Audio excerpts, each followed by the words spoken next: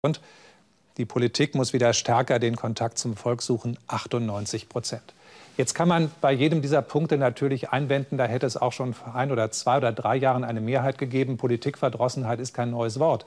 Aber Werte von 80, 85, 98 Prozent, die sprechen eine deutliche Sprache. Das scheint schon ein neues Ausmaß des Unmutes zu sein. Und offensichtlich war da Stuttgart so etwas wie der Funke, der gezündet hat.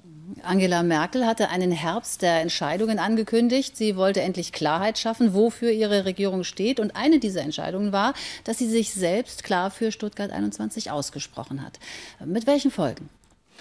Angela Merkel ist in dieses Jahr gegangen als die populärste Politikerin in Deutschland. Wir fragen ja monatlich ab, mit wem die Menschen besonders zufrieden sind. Jetzt in diesem Monat ist sie abgerutscht auf den achten Platz. Und noch etwas ist neu. Zum ersten Mal seit Gerhard Schröder gibt es einen Sozialdemokraten, der im direkten Kanzlerwahlvergleich mit Merkel die Nase vorn hat. Wenn man die Kanzlerin oder den Kanzler direkt wählen könnte, dann würden sich 35 Prozent für Angela Merkel entscheiden, aber 44 Prozent für Peer Steinbrück, der ja neuerdings auch als Kanzlerkandidat gehandelt wird. Der SPD-Vorsitzende Sigmar Gabriel übrigens schneidet in diesem Zweikampf weiterhin als Zweiter ab. Bleibt die Frage abschließend, welche Partei profitiert denn von dieser Stimmung? Vermutlich die Grünen, oder? Ja, denn nicht nur Stuttgart 21 ist ja im Moment ein Thema, das den Grünen in die Karten spielt. Die Sonntagsfrage aus dieser Woche, erhoben von Infratest ab.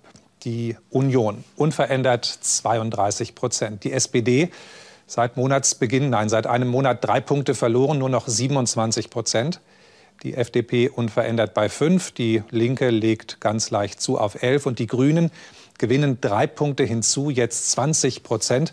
Das ist eine Marke, die die Grünen in zwölf Jahren ARD-Deutschland-Trend noch nicht erreicht haben. Allzeithoch also.